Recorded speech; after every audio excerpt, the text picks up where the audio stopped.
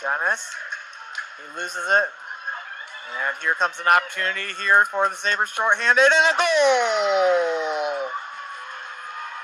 Alex Rondeau, a shorthanded goal as he gives the Concordia student section a hello.